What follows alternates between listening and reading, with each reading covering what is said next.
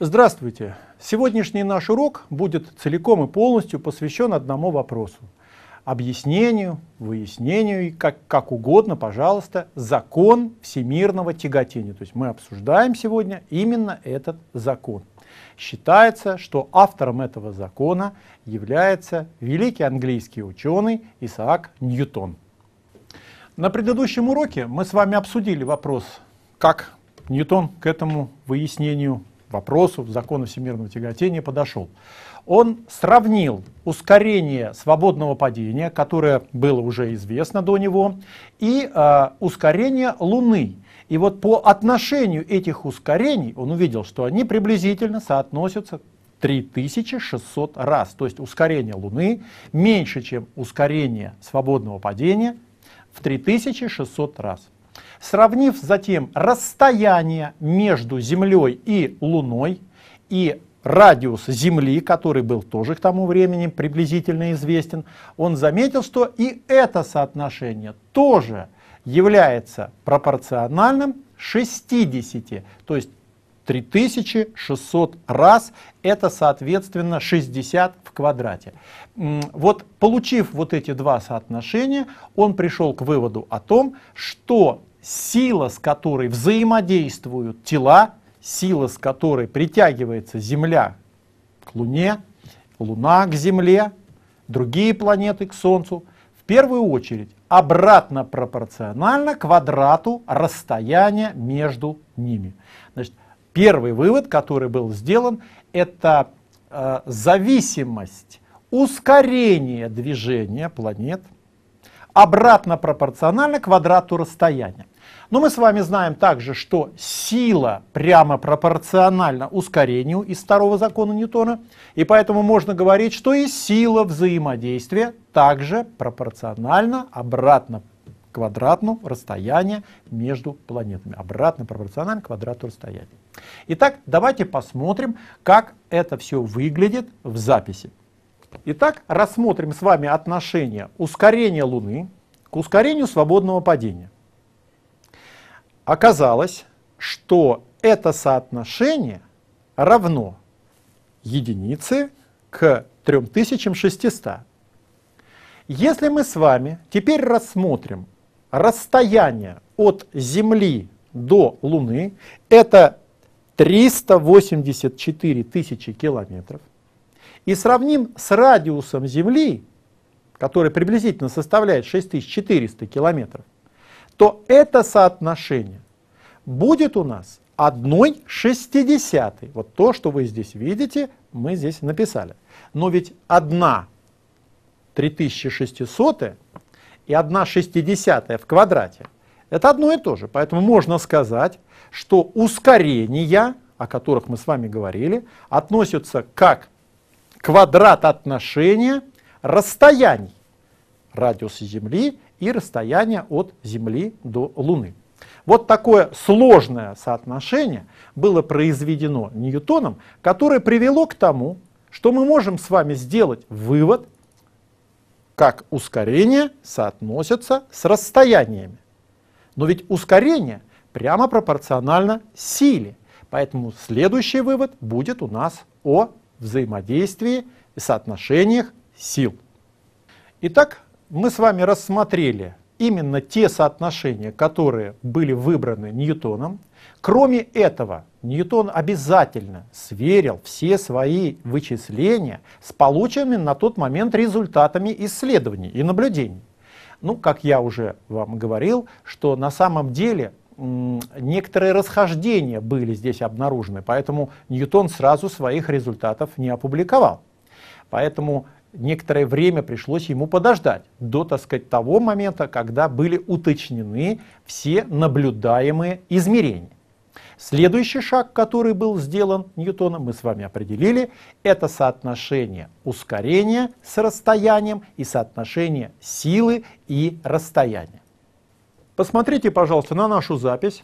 И из этого следует, что ускорение тела ускорение планеты, ускорение Луны, о котором мы с вами говорили, будет обратно пропорционально квадрату расстояния. Но мы с вами знаем, и мы уже об этом говорили, что сила по второму закону Ньютона также прямо пропорциональна ускорению. Поэтому мы можем с вами сделать вывод, что сила F также обратно пропорциональна квадрату расстояния. Это первый вывод, который был сделан Ньютоном.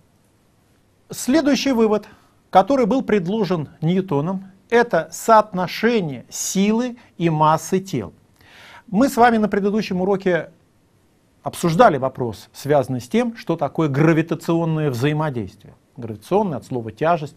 Ну, если вы, так сказать, помните этот урок, то можно говорить о том, что из наблюдаемых данных, опять следует именно это обсудить, что именно наблюдательные данные были использованы Ньютоном с той целью, чтобы определиться во взаимоотношении сил взаимодействия и масс. В результате были получены следующие результаты, что сила взаимодействия двух тел зависит от масс тел, взаимодействующих между собой. То есть от масс планет, от масс Луны и Земли. И стало понятно, что и другие планеты также взаимодействуют с Солнцем. Поэтому можно сделать следующий вывод, что сила, с которой взаимодействуют тела, прямо пропорциональна произведению масс этих тел.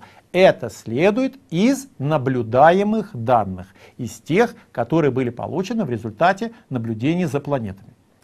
Обращаю ваше внимание, что запись, которую мы здесь вам предлагаем, как раз и выражает зависимость силы взаимодействия тел с различными массами. То есть сила прямо пропорциональна m1, масса одного тела, умножить на массу другого тела. Следующий шаг, который был сделан Ньютоном, это объединение двух полученных выводов.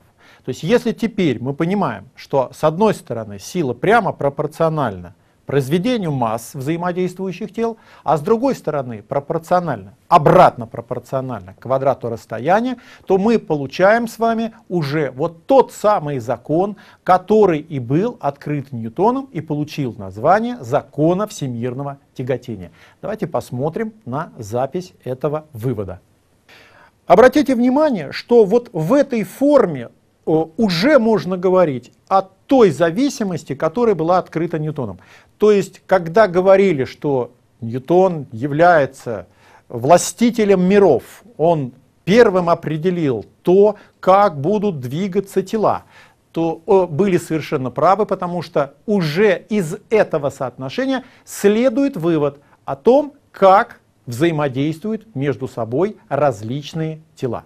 Сила взаимодействия прямо пропорциональна произведению массы и обратно пропорциональна квадрату расстояния между ними.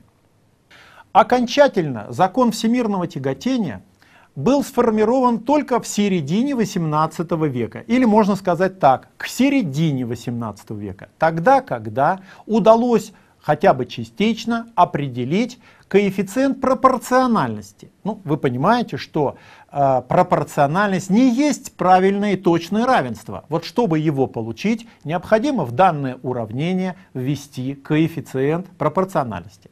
Этот коэффициент пропорциональности на сегодняшний день обозначают заглавной буквой «Ж». Большая буква «Г» латинская читается на французский манер, так же как и э, свободное падение, ускорение свободного падения g, здесь тоже говорят об коэффициенте g и называют его гравитационная постоянная величина. Итак, закон всемирного тяготения гласит, что сила взаимодействия двух тел прямо пропорциональна произведению их масс и обратно пропорциональна квадрату расстояния между ними. И обязательно необходимо указать, что в данной формуле используется гравитационное постоянное G. Впервые гравитационное постоянное, как я уже говорил, была, была попытка ее, скажем так, то есть не точно еще ее определение, э, в середине 18 века определили гравитационную постоянную следующим образом. Посмотрели отклонение маятника, очень небольшого металлического шарика, рядом с очень большой горой. массу этой горы определяли исключительно геологическим способом. Оценить гравитационную постоянную в данном случае удалось, но точность результата была очень и очень низкая. Первым человеком, которому удалось точно определить гравитационную постоянную с достаточной точностью, скажем так, был еще один английский ученый, очень э, достаточно интересный человек, Генри Кавендиш. Он в конце 18 века, в 1798 году, э, определил гравитационную постоянную с помощью так называемых крутильных весов. В результате отклонения Э, очень маленьких шаров, укрепленных на крутильных весах, ему удалось установить э, гравитационную постоянную. Ее значение составило 6,67 на 10 умножить на 10 в минус 11 степени. А вот единица измерения у нее такая. Ньютон умножить на метр в квадрате, деленное на килограмм квадрате. Давайте посмотрим на запись этой величины. Итак, значение этой величины g равняется 6,67 на 10 в минус 11 степени ньютон умножить на метр в квадрате, деленное на килограмм в квадрате. В чем же физический смысл этой величины? Физический смысл ее заключается в том, что она показывает, что вот именно с такой по величине силой будут взаимодействовать два тела массами по одному килограмму каждое, расположенные на расстоянии 1 метр. Как вы видите, э, эта величина гравитационной постоянной очень и очень маленькая. Ну, степень 10 в минус 11 степени говорит о многом.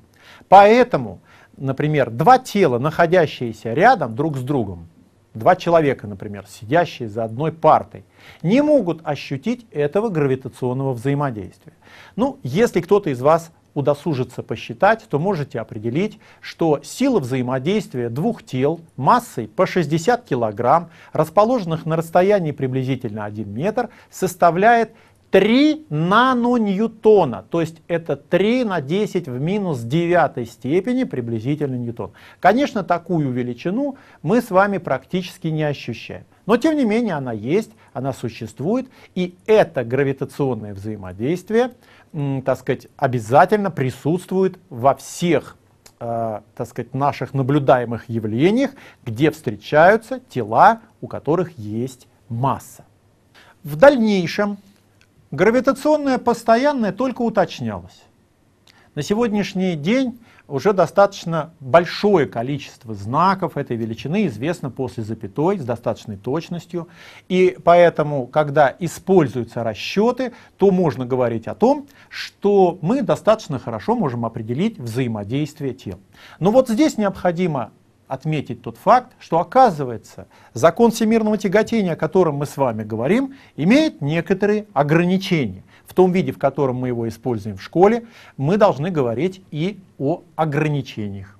Ограничения, которые связаны с законом всемирного тяготения, э, определяются вот каким образом. Дело все в том, что, во-первых, этот закон справедлив только для двух тел.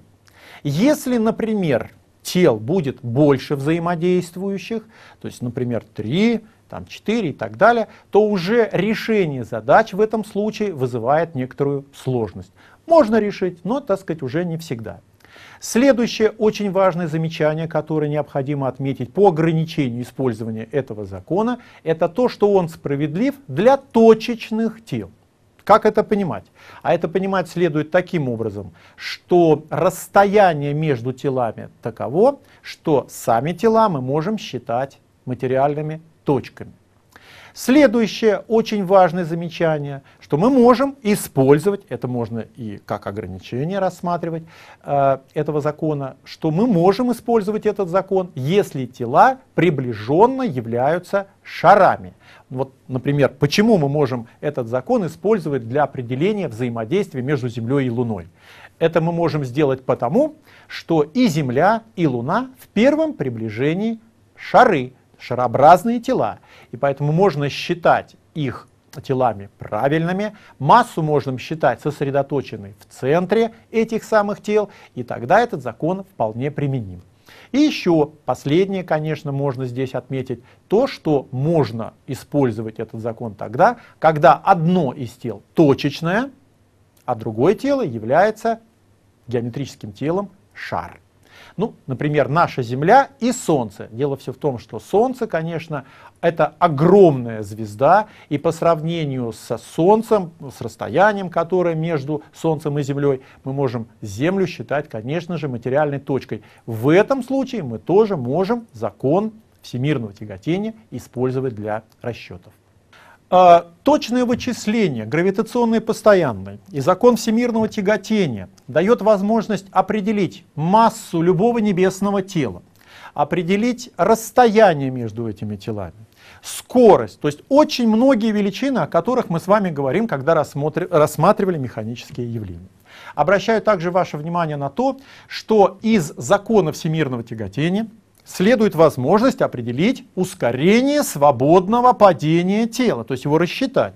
Зная массу Земли и зная радиус Земли, мы можем, ну и естественно, зная гравитационную постоянную, мы можем с вами определить ускорение свободного падения. Когда это было сделано, э, сравнили с данными, которые получил в свое время Галилей, то, конечно, было понятно, что они совпали, значит, все, так сказать, решение этих э, задач э, совершенно справедливо подтверждено, потому что разные способы исследования привели к одному результату. Э, также можно говорить о том, что мы можем определить ускорение свободного падения не только на Земле, но и на других планетах, и поэтому, так сказать, уже с этого момента можно говорить о том, как можно добраться до этих планет и, естественно, как на них высаживаться. Ну, например, вы теперь можете предполагать такую вещь, что мы можем, то есть человек может высадиться и на Марс, и, например, на Венеру при определенных условиях, а вот на такие планеты, как Сатурн, или на такую планету, как Юпитер, человек никогда не полетит. То есть вот на спутнике, которые рядом с этими планетами располагаются, мы прилететь можем и спокойно проводить там какие-то работы. На саму планету мы опуститься никогда не сможем. Масса их столь велика, что ускорение свободного падения такое большое, обратно мы не взлетим, да и в общем-то мы погибнем при посадке. А, необходимо отметить еще и то, что э, на Земле, например, да, ускорение свободного падения, о котором мы с вами говорим, может дать возможность определения э, залежей полезных ископаемых. Как это делается? Тоже очень достаточно любопытная вещь. Если мы знаем с вами, что в целом ускорение свободного падения на Земле 9,81 метра в секунду в квадрате, и измеряя ускорение свободного падения в разных местах Земли, мы можем определить его изменение, то есть изменение ускорения свободного падения. Это говорит о том, что меняется плотность Земли в некоторых ее местах.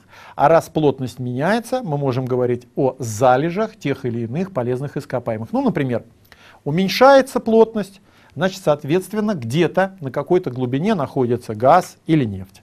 Если плотность, наоборот, увеличивается, то есть, соответственно, ускорение свободного падения возрастает, локально, незначительно очень, конечно. Это говорит о том, что у нас залежи каких-то руд. Это может быть железо или какие-то, так сказать, другие полезные ископаемые, но по плотности своей достаточно большие. В заключение нашего сегодняшнего урока можно отметить тот факт, что закон всемирного тяготения является одним из основных законов природы. И, конечно же, мы должны с вами понимать, что этот закон э, используется, он современен, он используется по сию пору везде, где это требует наша с вами деятельность. То есть запуск космических кораблей, космические исследования, астрономические наблюдения и прочее, прочее, прочее. До свидания. На следующих уроках мы рассмотрим с вами другие силы природы.